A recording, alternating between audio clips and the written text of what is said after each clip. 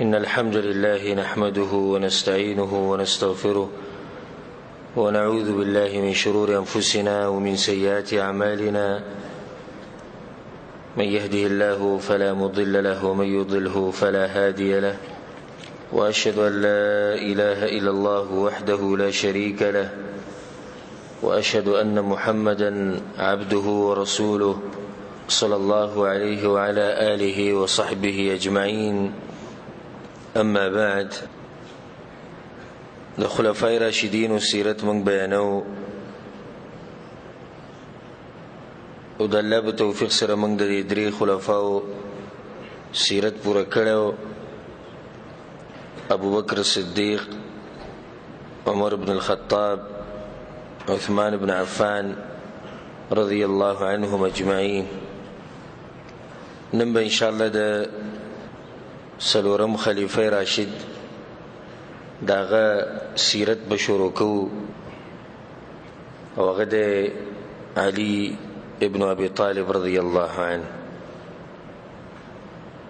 د عثمان ابن عفان رضی الله عنه د شهادت نه بعد خلافت چره ده علی رضی الله عنه ته پاتې شو او د مسلمانانو په اتفاق او په خوخي سره د خلیفہ شو او ان شاء الله غواقع به مخکې راځي په سیرت کې چې څنګه خلیفہ شو علي بن ابي طالب رضی الله عنه چې په دین کې د امامتۍ تذکره راشي نه هلته به د علي رضان تذکره په کوم ځکه چې د بادرۍ د شجاعت خبر راځي نه هلته به د علي رضی الله عنه تذکره راځي علی رضی الله عن ابو السبطین د رسول صلی الله علیه وسلم د دون وسو سبطین دون وسی حسن او حسین رضی الله عنهما پلار ابو الحسنین حسن او حسین دا غزامن دي کم چې د فاطمه رضی الله عنها نه پیداو نو د دغه درس ابو الحسنین وملکی خپل نومي دی علي ابن ابي طالب او د ابو طالب خپل نوم دی عبد مناف ابن عبد المطلب ابن هاشم الهاشمی القرشی نو بالکل د رسول سم چې کوم نسب دی هغه نسب ده دی علی بن ابي طالب رضی الله عنه د رسول صلی الله علیه وسلم د ترزوی ابو طالب د رسول صلی الله علیه وسلم تر دی او هغه ترې دی چې د رسول صلی الله علیه وسلم سره ډیره مرسته کړې و ولاړو سره په دې سخت کې رسول صلی الله علیه وسلم یوازې نه لري پرې خو دی د قریش ډیر مشران راغلي وو په ده پسې او دله یې دا مشوره ورکړې وه چې ته د خپل وراره نه لاس واخله چې موږ د قتل کو خو دوی چې نه او دا خبره کړې وه ابو طالب ویاله به زه د خپل رواره نه لاس واخلم چې کله ما خاورو ته ډډه ولګوله ابو طالب تذکره را لنده د فائدې لپاره یاد ساتي چې ابو طالب په شرک باندې مړو په شرک او په کفر باندې مړو سمره خې کړي د رسول سره خو چې ایمان را نوړي نه به بده کیس نه او په کوم ټیم کې چې مړ کېدو نو په هغه ټیم کې رسول صلی الله علیه وسلم ډیر کوشش وکړ چې د کلمه ووایي ډیر کوشش رسول صلی الله علیه وسلم وکړ او بار بار یو ته تر کلمه ووایي نو قیامت ورځ بل شفاعت وکړ دلیل له دې باندې چې شفاعت موحد انسان ته نصیب کیږي هر چاته نه نصیب کیږي هر چاته نصیب کیږي به بده ته نصیب شي هغه دې کلمه ووایه په خوا کې سره ابو جهل ناس او یو سره عبد الله ابن ابي اميه ناس لدوانه مشران کسان نو بچي رسول سم بوتي کلمه وې دی بوتي د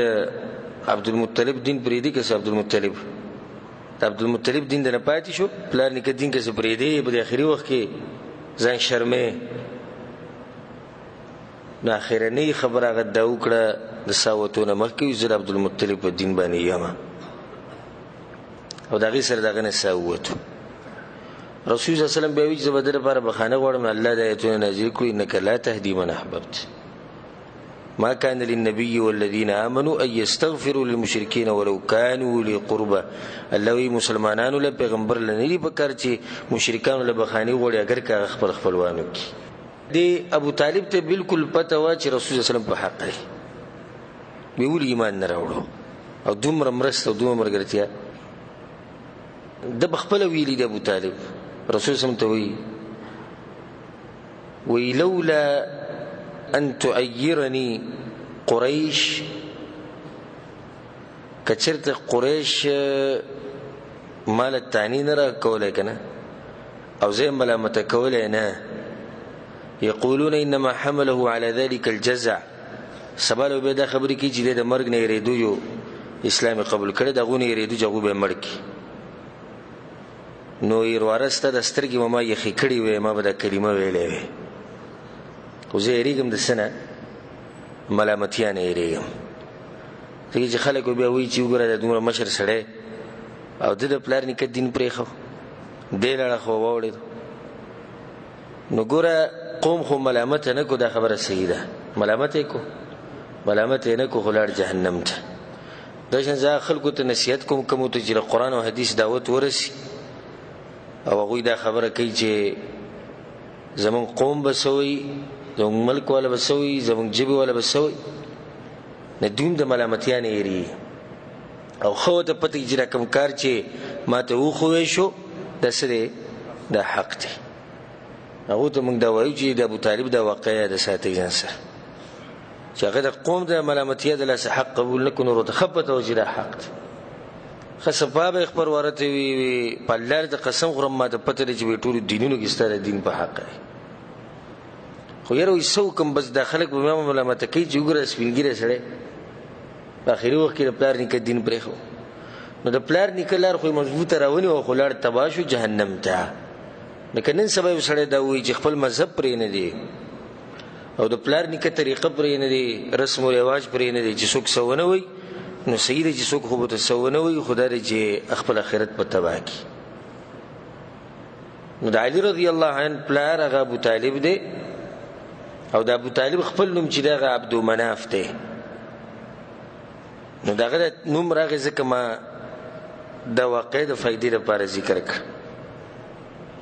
علی بن ابي طالب رضی الله عنه د امت په ځوانانو کې یو عجیب ځوانو علی بن ابي طالب رضی الله عنه دو کنیتونه یو ابو الحسن دی ابو الحسن دغه د حسن رضی الله عنه دلاسه او دویم کنیت دی ابو تراب او د ابو تراب د کنیت د رسول صلی الله علیه وسلم یې خو دی او ان شاء الله مخکې برش چې د رسول صلی الله علیه وسلم څنګه یې خو دی خو دلته صرف دا یاد ساتئ چې دلته دوه کونیتونه دي ابو الحسن او دویم ابو تراب او د حسن حسین رضی الله عنهما پلار دی د جنت ځوانانو سرداران د د مور چې د فاطمه بنت اسد ابن هاشم دا د ابو طالب د تر لور ده نو د پلار موري د د یو بل سری رشتہ دار دي نه د تر لور ده د تر زوی دی او د دې مور چې دنو اسلام قبول کړو او هجرت هم کړو اسلام قبول کړو او هجرت کړو پلار اسلام نه قبول کړي سبحان الله کله چې پلار مړ شو دراغه رسول سم ته یا رسول الله پلار مړ نه غوي یو کندي ته گزار کې خوره په واچو کورجی سړی اسلام قبول نه کړي دغه قیمت نشته قیمت ټول دی انسان جوړي هغه د دینداري د لاسه جوړي چې دینداري پکې نشته او دین نشته او الله نه پیژني پیغمبر نه پیژني موږ هغه سره به سم محبت کو دغه به سلی حساسات او د رسول صلی الله علیه وسلم ته د نبوت ملاوي دونه لس کاله مخکې د پیدا شي یا تکاله مخکې او د فائدې لپاره د خبره ساتي په عوامو کې د خبره مشهوره ده چې د په کعبه کې دنه پیدا شي علی رضی الله په کوم ځای کې پیدا شوی په کعبه کې دنه پیدا شوی او د دې خبرې صحیح سند نشته د سند د لحاظ سره د دې خبرې سه حیثیت نشته حکیم ابن حزام رضی الله عنه د په کعبه کې دنه پیدا شوی حکیم ابن حزام رضی الله عنه دا یو کس چې د په کعبه کې دنه پیدا شوی او علي بن ابي طالب رضی الله په کعبه کې دنه پیدا شي دا خبره سندن کمزوري ده اگر که خلک ذکر کوي خو د خلکو ذکر کړي شي هر خبره خو برابر نه کنه د سیده کنه نه کنه کوم خبره چې خلک ذکر کوي به صحیح نه خلک خبره ذکر کوي ته به سند ته ګوري چې سند یې څنګه دی نو د دې خبرې صحیح سند چې دی دا نشته علی رضی الله عنه باغ لسو کسانو کې چې رسول صلی الله علیه وسلم دا غوي نمونه ذکر کړی دی چې پلانې په جنت کې دی پلانې په جنت کې دی رسول صلی الله علیه وسلم او علی فی الجنه او علی به کوم ذکر دی په جنت کې دی علی رضی الله عنه د رسول صلی الله علیه وسلم زوم دی او د غټ فضیلت دی او په دې باندې د رسول سم لور فاطمه رضی الله عنها سیده نساء العالمین د دنیا د زنانو مشره د دنیا د زنانو مشره فاطمه رضی الله عنها هغه په دبنی واده او د واده واقع ان شاء الله مخکې راشي علي بن ابي طالب رضی الله عنه هغه ولنو کسانو کې چې اسلام قبول کړي او په معروف علماو کې لري په صحابه کرامو کې چې کوم معروف علماو یو پکې یو پکې علي رضی الله عنه خطیب او معروف تقریر چې به کو خطبه به کو په دې کول الله سبحانه وتعالى ډیره پوهه ور کړو زاهد او عابد انسانو د دنیا سره بالکل نه لګي او شجاعت دغه د شجاعت په کوم کوم واقع وینو ان شاء الله زه په دې روانو خبرو کې یو څو واقعي دغه د شجاعت چې دغه ان شاء الله تاسو ته بیان کوم د رسول صلی الله علیه وسلم سره دغه تربیت شي عظیم چې دا خبره صرف کافی ده کافی ده کنه کافی کبه دې زموږ د سیرت ودرو نو بس موږ پوه شو چې دا څوک دی چې تربیت د رسول صلی سره وشي بس ختم موږ ته په خپل به تولګي چې سره څومره اوچت انسان دی دا غب مخ کې دی لوی شوی دا غب په وکړه دی جدي سي کو دي سي مکو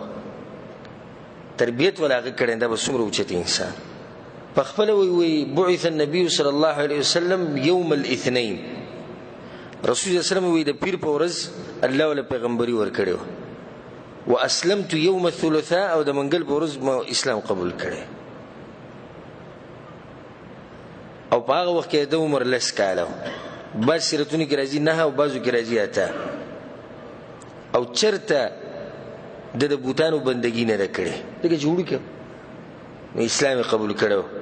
لسو کالو عمر کې زیات نه زیات شي اسلام چې کله قبول کړو د خپل اسلام پټ ساتو وړو کې مو او بل بغټین کې مسلمانان کمزوري نه د پلاری دی خبر شو ابو طالب ناغوتی وی زوی تا ګره اسلام قبول کړي که څنګه وی چې ما اسلام قبول کړي ناغوتی وازر ابن عمک وانصره وی سیده د تر دې زوی سره دی ودرېګه دغه مرسته کوه بالکل وته سونه او تر زوی وته سو کیات کو رسول الله صلی الله علیه وسلم یاد کو وی دغه سره ودرېږه او دغه سره مرسته کوه ودرېږه ورسره خو دومره دی پوه خو بدبختي شي چې الله سبحانه وتعالی چاله توفیق ورنه کړي دا زړونه رسول صلی الله علیه وسلم وی د الله په دوو ګوتو کې چې څنګه اړې راړې نو ټول توفیق د رب العالمین دی چرته په دې دوکنه شي او چرته په دې سوچ کې پرینو زی دیندار او زدي شي او زدغه والله لازم که الله توفیق در نکو که تر رالی دی منزل او که تر رالی دی درسون لته او بیا وی دا ټول محض د رب العالمین توفیق دی نو زموږ درس روان دی بعض کسان د لری لری زین ناراضي د ډیر لری زین ناراضي دي او دی خوا کې دي خلک شتي جاغو ناراضي نو اوس په دې کې موږ سوې په دې کې اوس دغه وایو چې دا توفیق دی لچا د رب العالمین بس ته به شکر وباسي او دویم الله سبحانه وتعالی نو په مخه د دعا غواړي او دا سوال وکړي چې الله زما زړه په اسلام باندې مضبوط ساته دي چې ګوره رب العالمین ابو طالب له توفیق ورنکو نور خبر دی چې دین حق دی نصیب وته نشو نن سبا ډیر دي سي مولیان هم شتي چې هغه ته خپه تر چې د حق چې د قران او حدیث کوم د حق دین دي ویم سړی ته وای ما ته پته لري چې دا کومه مسلې چې تاسو بیانوي او کومې ته بیانې ده صحیح خنو عمل په ولې نه کی نو کله وی پلان او پلان او کله وی دا وجه او دغه وجه اصل وجه دا ده غو نظام پوکه چې رب العالمین ول توفیق نه ورکړي د سړي په سړي کې سي چلني الله سبحانه تعالی دې موږ له دغه بندګۍ توفیق راکړي دا دغه د اسلام واقعا و او د هجرت واقعا اخو معروفه ده الله اکبر کله چې رسول صلی الله علیه وسلم هجرت کو مدینه ته کله چې رسول صلی الله علیه وسلم مدینه ته تو هجرت کو نو په دارو ندوه کې مشرکان را جمع شو مشوره وکړه وی د دې سړی سره څه کو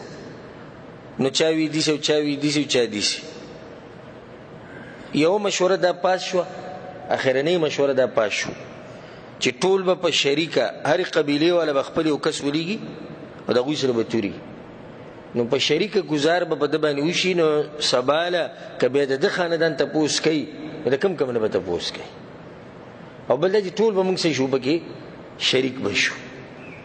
دا مشوره او دا بل پاشه او دا ندونه نو په سارله د غوی د حمله را دوه کسان کېنولو رسول صلی الله علیه وسلم په دغه ورځ وته او په خپل تلای باندې علی رضی الله عنه ته تبسم لیدل او ابو طالب پر رسول سم باندې دومره مینو چې د رسول سم به ځان سره سملو د بچی وي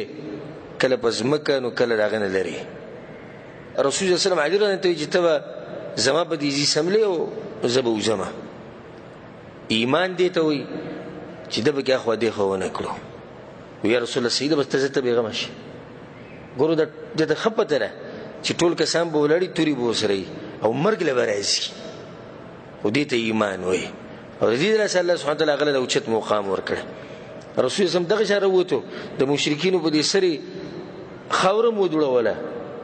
خو هغه ته نه ښکارېدو او دلته پرودو چاغوی رال چوغو چې دا سړی مړکو چې وی کې ته حاضر دی لاندې چی شو غوته دی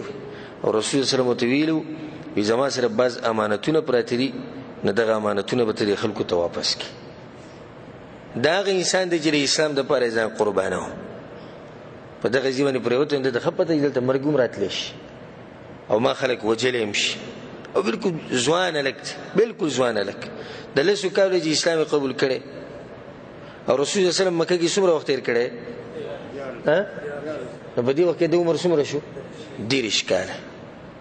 در دیرش کال ځوان د چې دومره غټه قرباني ورکړي د جهاد په هر میدان کې به د رسول صلی الله علیه وسلم سره ولا په هر میدان کې به ولا د بدر په میدان کې اولنی کسان چې راوتیو اولنی کسان درې کسان د رسول صلی الله علیه وسلم له طرف نه وروتو د مسلمانانو له طرف نه درې کسان د مشرکانو نه وروتو دا ولنې جنگ دی د کفر او د اسلام په منځ کې او د مسلمانانو له طرف نه چې درې کسان راوتی نو باغو کې یو څوک دی علی رضی الله عنه او دی مبارک ایتونم نازل شوی الله سوی هذان خصمان اختصموا في ربهم الله د دوه ټولګي دي راوتی د خپل رب په باره کې جنگ به دغه موضوع باندې د په بدر کې هغه ولني کسانو کې بوخا د جنگونه چې دا بدیسي چې एकदम بخلک نه ورتلو بلکې اوله کې به سکسان د دې ځینې تلو صد اغه ځینې د دې مقابله روانو بیا ورسته جنگ ګرمېدو اولنی کسان د مسلمانانو طرف نه درې کسان تریو او په کې یو علي رضی الله عنه او کوم دشمن چې د مقابله لراوته هغه په یو گزار باندې ختم کړه علی رضی الله عنه د احد په غزا کې پر رسول زمانه جي سخت ډیر او په هغه وخت کې د رسول صلی الله علیه وسلم سره ولا او د رسول زمانه زخمونه انزل په دی به وباړه وي چې روینه دي سپاش په ټولو جنگونو کې د رسول الله سره وو سوای د تبوک نه رسول الله سره په مدینه کې پرې خو د رسول الله په اجازه باندې پاتې شو ان شاء الله دغه تفصیل به مخکې راشي بلکې د احد په ورځ باندې وی په د باندې چې نو شپارس شپارس گزار د توري لګیدلو شپارس گزار او د دوه واقعا په خیبر کې او د واقعا د خندق په ورځ هغه ان شاء الله را روانه ده او زه تاسو تفصیلا بیانوم علی رضی الله عنه جسمانی صفات پیړو د جسم نه جسم غټو او د سر د ویخته بالکل لګ ویخته ورنګي وتی وډیر د سر د ویخته وتی او په دې باقی بدن باندې ویخته ډیر زیات او دنګ نو بلکې چیتوالي ته مایل و، بدن یې لږ چیت و او خېټه یې غټه خېټه وه او دا ږیره ډېره زیاته غټه وه، ډېره انتهایي. امام شعبي رحمه الله وایي وی ما رأیت اعظم لحیه من د علی رضی الله عنه د ږیرې په شان ږیره چې ما نه ده لیدلې. په بعض سیرتونو کې راځي وی د هغه د سینه داسې ډکه پرته وه د دې ږیرې نه. او بعد چا چې لیدلې دی وي مونږ له سینه وری ده او د ګیره د غسپینه او صرف یو پیری ول رنگ ورکړې به رنگ نه ورکوغه نو اید لکه په دې سیده سینې چې د مالو چونه ډکه شوی د ګیره سي مزدار ګیره او تک سپینه او د فائدې لپاره ساتي چې رسومره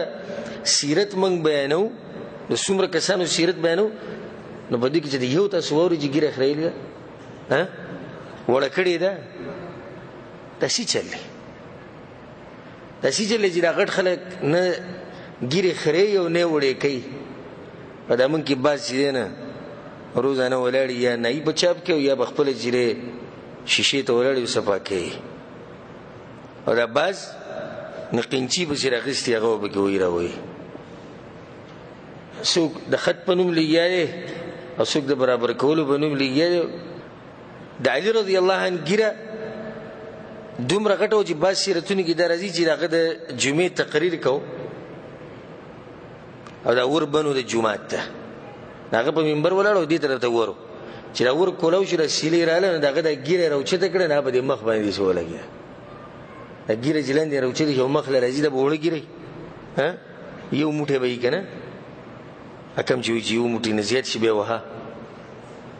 یو موټی به یو موټی کوم ځای بر راځي د ورځو د لسو ورځو اجامت به ده ګیره داغه غټه ګیره وه علی رضی الله عنه دا ګیره چې کله سپینه شو نو صرف یو پیر ول رنگ ور کړي به به رنگ نه ورکاو به به ولا رنگ نه ورکاو د دین دا واضح شو چې دا رنگ ورکول ګره واجب نه دی رنګ ورکول دا واجب نه دي غنم رنګ یو ضرور انسان ډیر ضرور انسان او شجاعت ور انسان جابر بن عبد الله رضی الله عنه وی وی د خیبر پور چې کله د لاړ د يهودو د قلاګانو ته کنه ته وړي او مضبوطي قلاګانی نو حمل علي الباب على ظهره يوم خيبر نو د قلانه د دروازه درويسته او به په دې په دې وګو باندې راوچته کړی و حتى صعد المسلمون عليه نو د مسلمانان دی قلات دنه ورلو ففتحوها ناغه فتح کړه بیا علی رضی الله چې کله پته ودرېږي چې مسلمانان دنه نوتی دا دروازه غزار کړه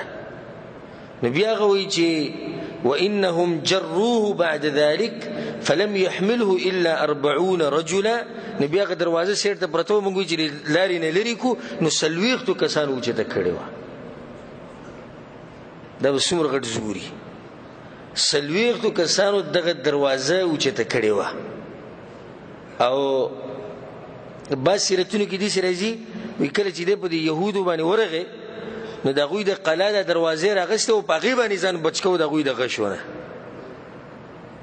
هغه باندې ځان ساتو دا غوینه دا دلیل به دې باندې چې علي رضی الله عن ډیر یو بادر او شجاعت ول انسان علي رضی الله عن دومره شجاعت ول دی خو د فائدې لپاره دا خبره یاد ساتي شیعگان دا خبره کوي چې علي رضی الله عنه چې دینه د رسول صلی الله علیه وسلم نه هم زیات بادرو غلو کې وي په خپل علي رضی الله وي امام احمد بن حنبل رحم الله دا روایت راوړی دی وی كنا اذا احمر الباس کله چې جنگ ګرم شو سور شو مسلمانانو د کافرانو په منځ کې اتقینا بالنبي صلی الله علیه وسلم نو موږ به په دې میدان کې رسول سم کته چې کمزې کې ځای سره خوا کې وتریو داغه بادر انسان دی د اعتراف کوي چې د رسول سم بادری ته ګورې څوک نه راشي وزال انسان د خیبر په ورځ باندې روایت کې راځي چې رسول صلی الله علیه وسلم دا وی لأعطين الراية غدا رجلا يفتح الله على يديه يحب الله ورسوله ويحبه الله ورسوله په سباله جنگ دی د خیبر پنن رسول سموي وي زبدا جنډي او دي سړي لور کومه چې الله به دغه په لاس باندې مسلمانانو ته فتح نصیب کړي او دغه سړی محبت کوي د الله سره او د الله د پیغمبر سره او الله او د الله پیغمبر محبت کوي دغه سړی سره وی فبات الناس سهل بن سعد رضی الله عنه وی فبات الناس يدوكون ليلتهم نو خلک ټوله شپه ویده شوي نه دي ناست دي یدوکون لیلته ښه نو ولې ناست دي شپه ټوله چې دی دقې شان تېره کړه وي ایهم یعطاها چې دا به کم یې له ورکړی کېږي عمر بن خطاب رضی الله وی وی ما چرته د مشرتیا ارمان نه کړو نه مې غوښتلی غو بده غرض مو ته زړه شي ولی ځکه چې رسول زم خصفه وي دا سړی محبت کوي الله سره او د الله د پیغمبر سره او الله او د الله پیغمبر محبت کوي دغه سړی سره دا غټ شرف دی نو چې کله سحر شو نو دا ټول صحابه کرام را جمع شوي دي او هر یو چې دینه سر اوچته لګي که رسول سم په ما باندې نظر ولګي یو چې تراش نو عمر ابن خطاب رنوي چې ما بکم سر اوچته لګاو چې رسول سم جواب زه عمر ترازته خرسوس هم دې ته پوښتنه کوي چې هغه ټول لهریان شوی اين علي ابن ابي طالب علي ابن ابي طالب کوم ځکه یا رسول الله هو یش یشتکی عینی یا رسول الله هغه خسترګي خوک شوی سیر ته پروت الله سبحانه تعالی چې په تقدیر کې سری کې لغه انسان ترسي رسول سمره وره کله چې راغنی فبصق النبي صلی الله علیه وسلم فی عینی رسول صلی الله علیه وسلم د خپل لاړې مبارک راوسی دغه بل سرو کې ولګوي فبرئ حتى كان لم يكن كان لم يكن به وجع دي سي برابر شو لکه د سره چې د بسترو کې سمرز نو رسول صلی الله علیه جنډه ورکړه جنډه چول ورکړه رسول صلی الله علیه وسلم ته ویزا خوشاته به ګوري نه ګوري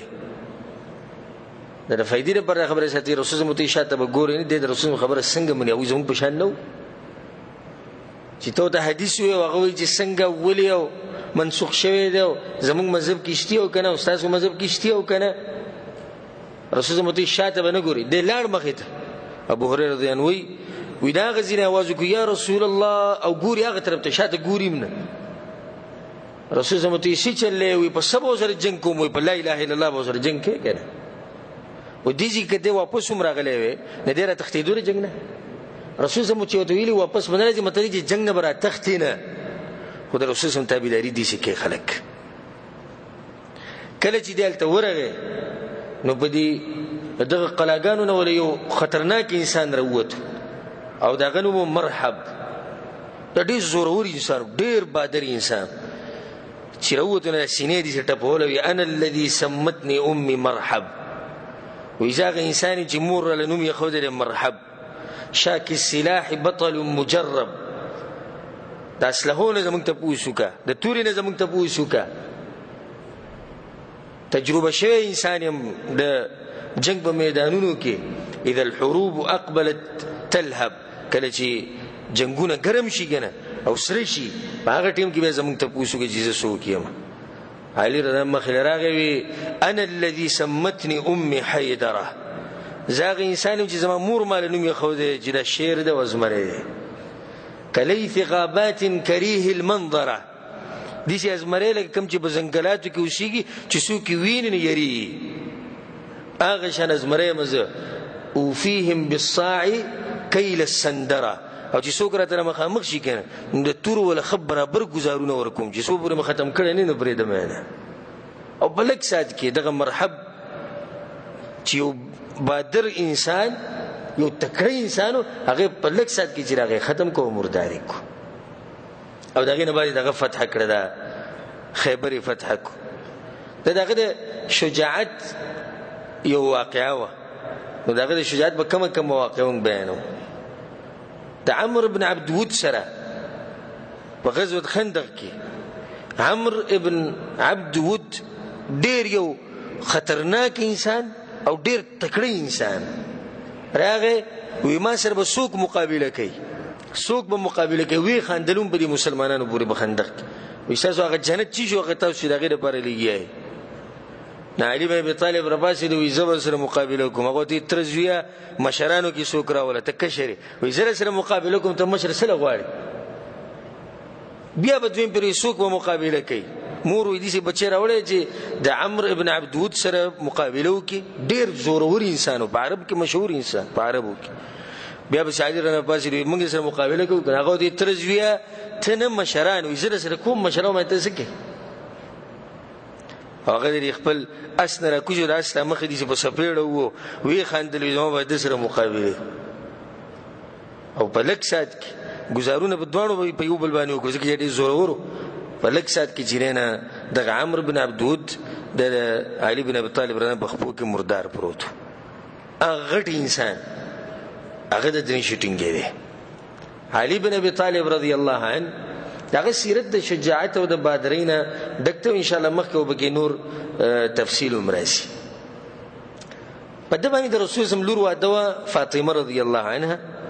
او د هجری په دویم کال رسول سم د خپل لور د واده کړي الله اکبر او د غریبۍ جونو د غریبۍ د دوی جونم د غریبۍ د رسول سم جونم د غریبۍ د سیرت کې راځي کله چې فاطمه رضی الله عنها واده کړي نو پلار خلور له سامان کوي کنه نو رسول الله سلام د خپل لور له او د فاطمه رضی الله عنها د رسول سم په هغه بچو کې دي چې رسول سم د ټول نزيات په دې مې دومره محبت رسول سم د دې سره کو چې کله بداراله رسول سم بو خپل ځای پرې خو او د دې له تندې به خپل او د دې له سونه به خپل وي کله چې دا و د کېدنه رسول الله سلام ولې یو صادره غسته او یو بالغ ولا غسته او یو دوه لوښي ول اوبو راغستي نو بیا د هغوی ژوند مخې ته هم د غریبۍ و روایت کې راځي چې اشتکت فاطمه ما تلقى من الرحى فاطمه رضی الله عنها به د دانی چې دی نو په خپل کور کې به په خپله چې دی نو هغه وړه کول د دغې د لاسه چې دغې د لاسونه خوږ شي او هغه به ستړي کېده دغې ته پته ولګېده چې رسول صلی الله علیه وسلم چې دی نه د جنگ نه څه قیدیان ځان سره راوستي نو راله پر رسول پسې کور ته تسأله خادما چې د رسول سم نه یو نوکر ځان له بوج رسول ته یو دې منګل راک رسول سم کور کې نو هغه عشره نه ته وی چې ته رسول سم ته دا خبره کوي سید رسول سم چې کور ته راغی عائشه رنه وته وی چې فاطمه راغلی دي چې خبره وکړه نو وی فاتان النبي صلی الله علیه وسلم رسول الله په بصراغه کورت او رسول الله بتو دی لور ته پوس وکړ وی وقد دخلنا مضاجعنا او من چې دینه بزن باندې کمبل لا چوره بده د کېدو ټیم چې څنګه رسول زم رانه وته فذهبنا لنقوم موږ چې رسول ته ودرېږو فقال على مكانك هنا مباسي وما جزء انسان رسول الله صلی الله علیه وسلم او موږ سره کینس حتى وجدت برد قدميه على صدره على صدري رسول صلی الله علیه زما د خپل سره ولګي د فاطمه رضی الله وی وی دومره یخي وی چې هغه خواله زما په سینه کې محسوس شو هغه خواله زما په سینه کې محسوس شو وی به وی چې الا ادلکما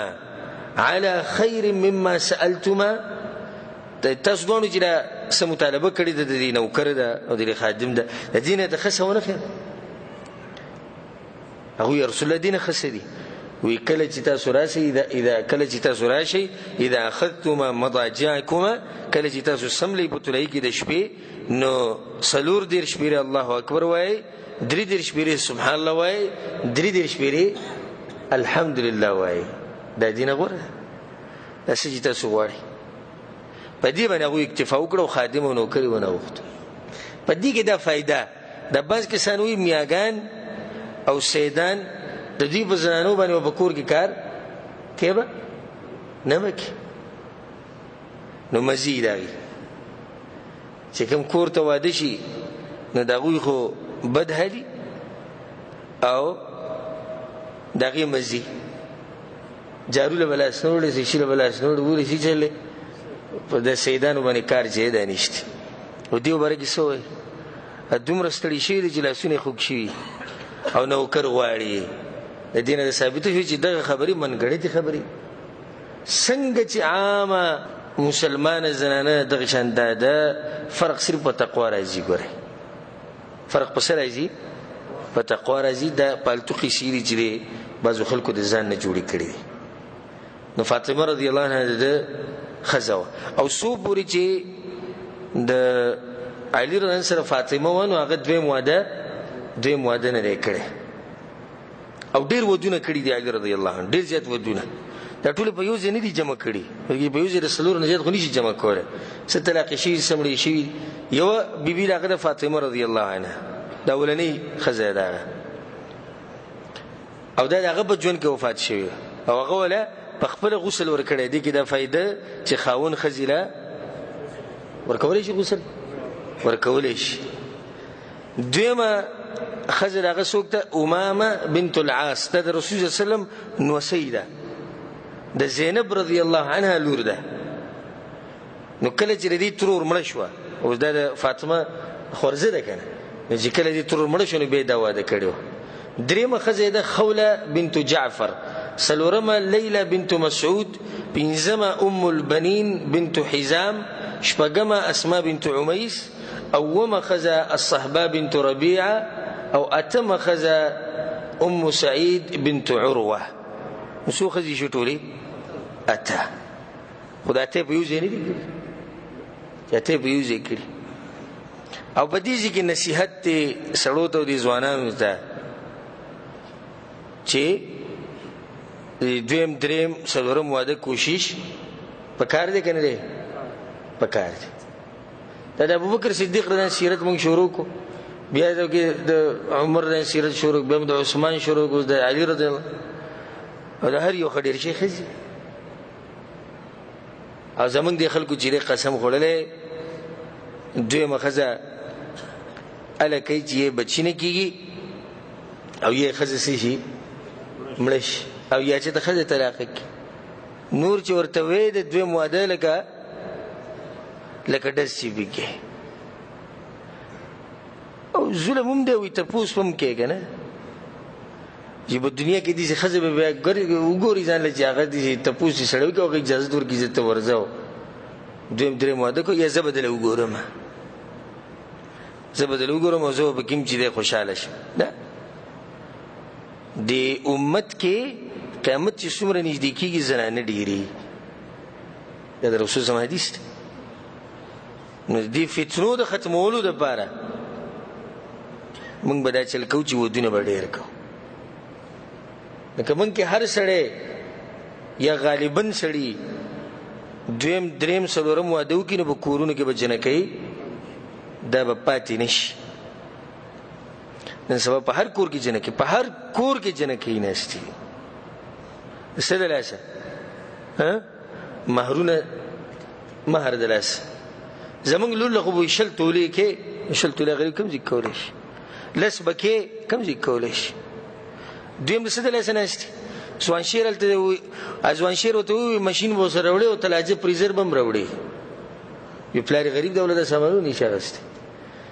دریم د څه د لاسه نشتی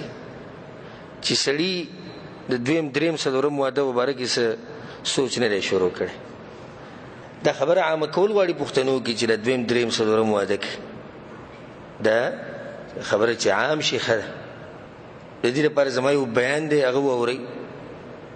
د ډیر ودونو فائدې او د دویم دریم څلورم واده دا به انسان کوي خو په شرط سره د طاقت چې بدني طاقت وي او مالی طاقت وي ما خبره کوله د علي رضی الله عنه خزي دي اته خزي د دلیل نه بده باندې چې ودونه دغه ډیر علي بن ابي طالب رضی الله عنه فضائل خو ډیر زیات دي بعضو ته به زه اشاره وکم امام بخاری رحم الله دا روایت راوړی په الادب المفرد کې سهل بن سعد رضی الله عنه وی ان كان احب اسماء علي رضي الله عنه اليه ابا تراب دا ابو دا علي رضي الله عنه چې کم نمونه خو خونو باغ ټولو کې زیات خو خونو مرتد ابو تراب وان كان ليفرح ان يدعى به په دې بغړې سره خوشاله دي چې چا متواز کوي ته وی چې ابو تراب وما سماه ابو تراب الى النبي صلى الله عليه وسلم دا ابو تراب نوم ولا چا خو درې رسول الله صلی الله علیه وسلم ولا خو درې څنګه بیا قصه کوي وی وذلك انه غاضب يوما فاطمه دا غيو د فاطمه رضی د علي رضی او د فاطمه رضی الله عنها په منځ کې ورسره جګړه رااله دی غوسه شو فخرج د کور نه وته و دې کې دوه فائدې اولنې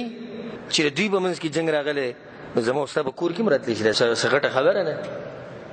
سغټه خبره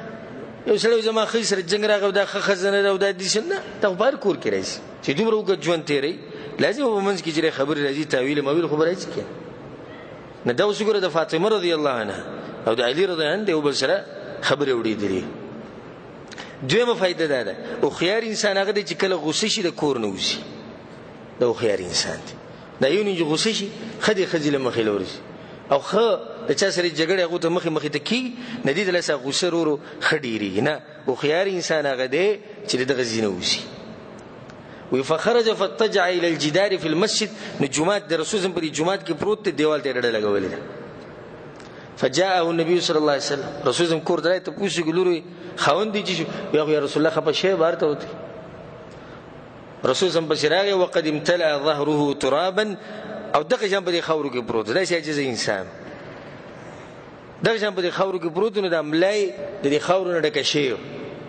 فجعل النبي صلی الله عليه وسلم يمسح التراب عن ظهره رسول سم پر خپل مبارک لاسونو باندې هغه دې د املانه د خاورې دي چې لري کولی او ته وی اجلس ابا تراب ابو تراب پاسه کینوي سګوي د پروتي نه دې دا نوم بیا خوښ شو نو بیا چې به ته چا ابو تراب وینو باغې باندې به دی څه خوشاله دو چې وګوره ما ته هغه نوم وی کوم چې رسول سم هغه کونیت ما ته وی کوم چې رسول سم مالې خو امام احمد بن حنبل رحمه الله وی وی ما ورد لاحد من اصحاب النبي صلى الله عليه وسلم من الفضائل ما ورد لعلي رضي الله عنه تعالی رضی الله عنه چې څومره فضایل لغلی دومره د نور صحابو نه راغلي په صحیح بخاری صحیح مسلم کې د حدیث ته سعد بن ابي وقاص رضی الله عنه چې ان النبي صلی الله علیه وسلم خلف علي في غزوه تبوک په تبوک په غزا کې رسول الله صلی الله علیه وسلم چې علي رضی الله پرې خو په مدینه کې نو علي رضی الله عنه یا رسول الله تخلفني في النساء والصبيان یا رسول الله ما په زنانو کې پرې ده په ماشومانو کې پرې ده او دغه په شان بادر انسان د جنگ نه کوم چې صبر کولای شي د میدان جهاد نه د غزر کله صبري رسول صلی الله علیه وسلم ما ترضى ان تكون مني بمنزله هارون من موسى استادانه د خوخه چې زما استاد د سي رشته شي لکه څنګه چې د هارون او د موسی عليه السلام موسی عليه السلام لړ کوی تور ته نشاته سوق پرې هودو هارون عليه السلام پرې هودو غیر انه لا نبی بعدی خدا خبره به کیمو کړه پر زمانه بعد پیغمبر شتی نه د خاصی رسول سم دغه مقام بیان کو نور د رسول سم بعد پیغمبر دا خو نشتی نه دغه فضیلت ته چې رسول صلی الله علیه وسلم ته دی سی وو یو روایت کې د رضی رسول الله صلی الله علیه وسلم وی وی من من كنت مولا فعلي مولا زجر چا مرګره ما نو علی رضی هم به دغه مرګره او څوک چې ما سره محبت کوي داغه به ده علی رضی سره محبت کوي ځکه وی اللهم والی من والا یا الله څوک چې د علی رضی سره دوستی کوي یا الله نو تو سره دوستی وکړه و عادی من عادا یا الله سوک چې د علی رضی سره دښمنی کوي نو یا الله تو سره دښمنی وک علی رضی الله عنه اغه عجیب انسان او اغه اوچت انسان رسول صلی الله علیه وسلم و ان الله امرني بحب اربعه الله ما ته امر کړی چې صدور کسان سره خاص محبت کوه واخبرني انه يحبهم او الله رته دوج زو سره محبت کومه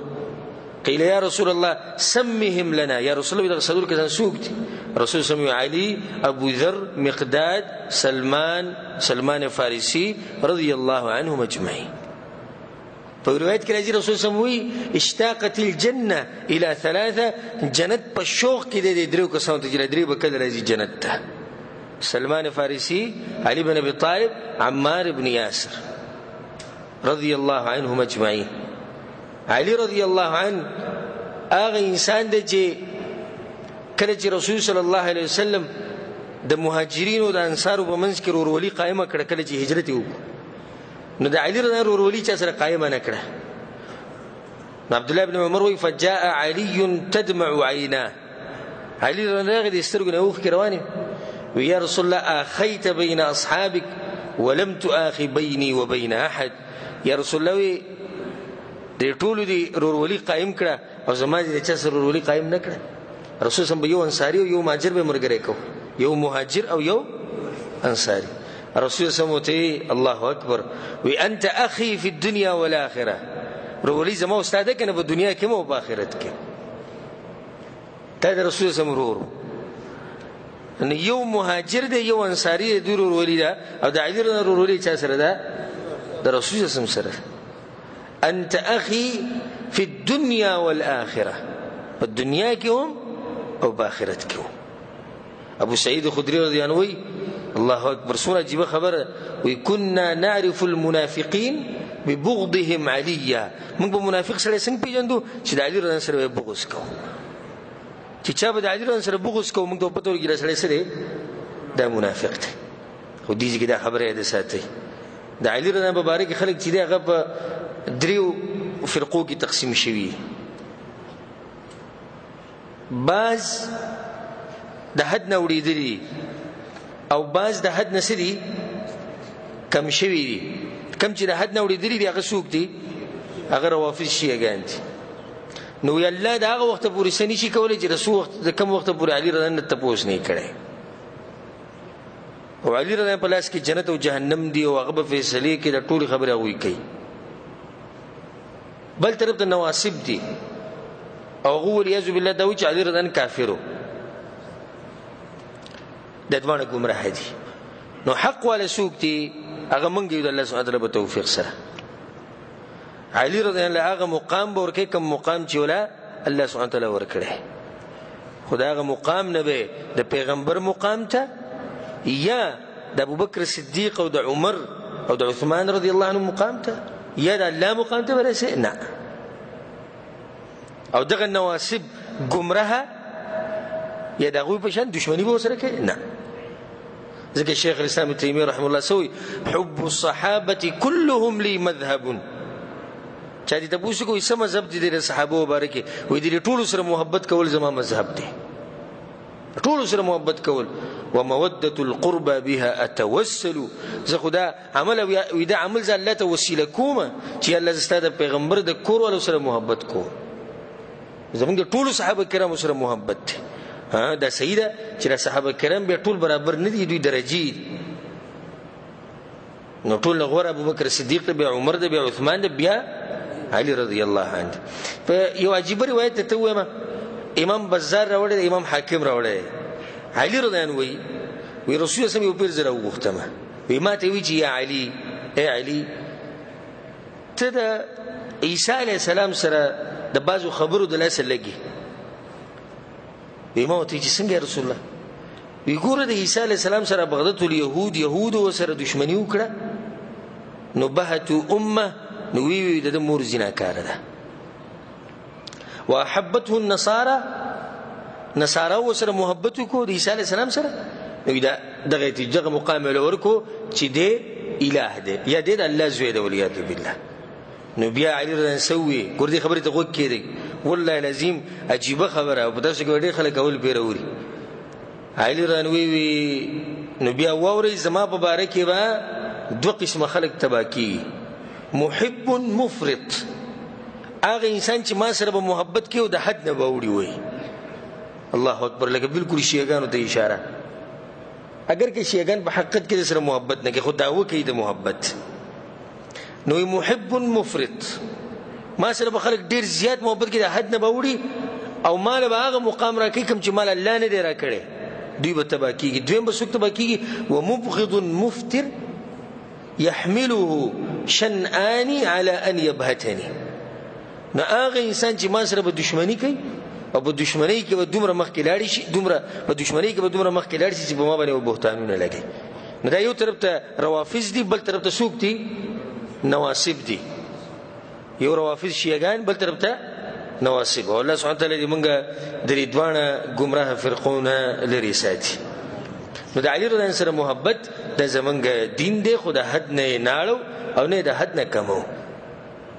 یو روایت کړی چې علی رضوان وایي ویزه په رسول صلی الله علیه وسلم دی او علاقه ته لګلم چې تبالته فیصله کې وی ما ته جی رسول الله ته ما لېږي او زه ځوانه لیکم د فیصلو لپاره اتمره زه په دې فیصلو نه پوهېږم فضرب صدري بيدي رسول الله زما په دې سینې لري زلاس راواچ وی چې اللهم اهدي قلبه یا الله دې زړه له هدایت ورکړي وثبت لسانه یا الله دې جواب حق باندې ودري د دعا او د چا کړی دا د رسول سم کړی ځکه ابو هريره دین وی وی عمر ابن خطاب دا خبره کړو چې علی اقدانا په من کې قاضي انسان چې هغه څوک دی هغه علی رضی الله چې هغه فیصله کوي عبد الله بن مسعود وی موږ به دا خبره کوله كنا نتحدث ان اقضى اهل المدينه علي ومدينه کې پوه انسان په فیصلو باندې څوک دی هغه علی رضی الله عنه ام سلمہ رضی الله عنها وی عجیب روایت دغه ګوته کړي وی کان النبي صلی الله علیه وسلم اذا غضب کله چې رسول سم غوسه شو به ځکه خبرې نشو کوله او صحابه کرامو د رسول سم سره ډیر محبت او ډیر قدر وکاو دا عام اوقات کې به د رسول سم سره ډیر خبرې نشو کوله به چې غوسه شي به خو بالکل پرې خو وی زه ورستو به راځ ګورو لم یجتر احد ان یکلمه نو چا کې دومره جرأت نه و چې د رسول سره به خبرې کولې چې د رسول سره خبرې کړې الا علی سوی د علی رضی نه چاغو بسی ورته چې رسول سم غوسه مو نو علی رضی نه بسی تو د غسر به خبرې کولې عمر ابن خطاب رضی الله ارمان کو وی ارمان چې دا کوم نعمتونه الله علی رضی الله ورکړي چې د مال ورکړي مال راکړي خلکو ته کم کم وی یو دا چې د رسول صلی الله خپل لور ور کړی ده او دویم د خیبر پور چې ول الله د خیبر پور چې ول رسول صلی الله د جنډه ور کړی دغه چې به کې خصفه رسول صلی الله علیه وسلم وی چې دا به دي سړی چې دی به الله سره محبت کوي او د پیغمبر سره به کوي او پیغمبر او الله به د سره محبت کوي یو حدیث کې راځي سعد بن ابي وقاص وی رسول الله صلی الله علیه وسلم وی من اذى عليا اذاني سوق چې علي رضی الله عنه تنګي نو دې ما تنګي یو روایت کې راځي رسول صلی الله من احب عليا فقد احبني سوق چې علي رضی سره محبت کوي دې ما سره محبت کوي ومن احبني فقد احب الله او سوق چې زما سره محبت کوي نو د په حقیقت کې د چا سره محبت وکړو د الله سره محبت وکړو ومن ابغض عليا او چا چې د علي رضی الله سره بغض کو او دشمنی کوله نو د ما سره دشمنی وکړه ومن ابغضني او چا چې زما سره دشمنی وکړه نو د حقیقت کې الله سره دشمنی وکړه رسول الله صلی الله علیه وسلم یو روایت کوي من سب عليا فقد سبني چا چې علي رضی الله کنځلې وکړي د ما د کنځلې وکړه علي رضی الله عنه هغه انسان دی چې د سره محبت کول د دین نه خره خو دې کې به د حد نه نه وړي او نه به کمی په خپل دي ته پوسی شو وی غوره انسان څوک دی د رسول صلی الله علیه وسلم ابو بکر صدیق رضی الله عنه وی بیا وی عمر وی بیا عثمان دا خپل غوي د کم ځکه د شیطان چې دوی په زور دښمنی دوی جوړه کړي لکه خبره مخې لراله د دې بچو خبره به تاسو ته کوم چې بچو له نمونه سي خو دي او شیګانو په زور دښمنی جوړه کړي ده د دوی د علی رضی او د ابوبکر صدیق او د عمر او د عثمان ابن عفان رضی الله عنهم په منځ کې د دې ځامن چې دي سوار له ځامنو د علی رضی ټول ځامن شو سوار له حسن او حسین دا دوه شو یو د محمد الاکبر لوی محمد سلورم دی منځنی محمد او پنځم دی وړوکی محمد سو محمد دی درې شپږم نوم دی عبید الله وم دی ابو بکر اتم دی العباس نهم عثمان او لسم جعفر او یو لسم عبد الله او دولسم یحیی دیار لسم عون سوار لسم عمر و دې ځکه وګوره د خپل بچی له سنو یې خو درې عمر د یو له ابو بکر یې خو درې د بل له عثمان یې خو درې کم ځکه دي شیګان هغه وی د علی رضی الله سره دوی ظلم کړی دی خلافت ته اغستې دی د دې خځې وی فاطمه رضی الله عنها پوښتې چې دی هغه ابو بکر صدیق ماتې کړی او دومره والی نو دی بیا ولې د هغوی د هغوی په نوم باندې چې د هغوی په نومونو باندې خپل بچو له نومونه ږدي دا دلیل دی په دې باندې چې دا قصې ټولې شیعګانو د ځان نه جوړې کړي صحابه کرامو د یو بل سره محبت کو او د هغوی ته وی د زموږ مشران دي